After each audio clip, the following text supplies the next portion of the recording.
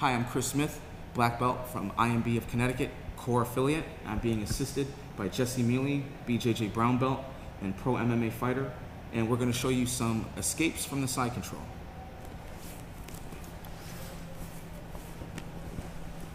So a lot of times, eh, you've got shoulder pressure. So the first thing we want to do is come here with two hands. We're going to pull and slide our hips away a little bit. Now I can turn my head, and if I can turn my head, I can escape. If I can't turn my head, I can't get my hips engaged. So, boom. I'm going to reach over, grab her lapel, like right by the armpit. I'm going to take my forearm right here and slide it right under her hip. Once I have this here and this here, I base and I'm just gonna roll to the corner. Now you've got your, your own side control, maybe Kesa Gatame. If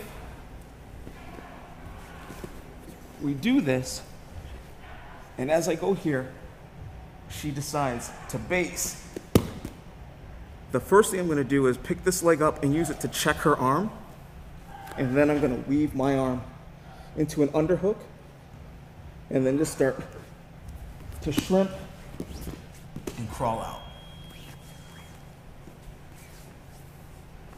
Our last option.